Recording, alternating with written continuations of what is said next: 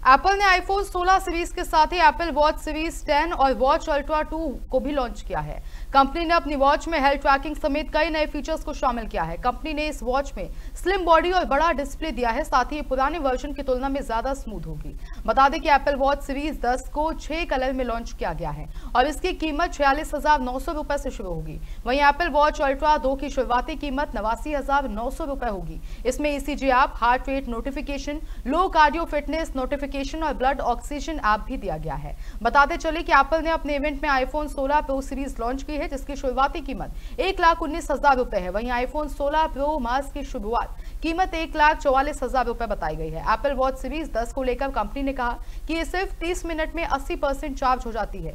इसमें S ten chip का इस्तेमाल किया गया है, जिससे कई एआई फीचर्स इस घड़ी में देखने को मिलेंगे। साथ ही इसमें क्रैश डिटेक्शन और डबल टैप जैसे फीचर्स भी देखने को मिलेंगे।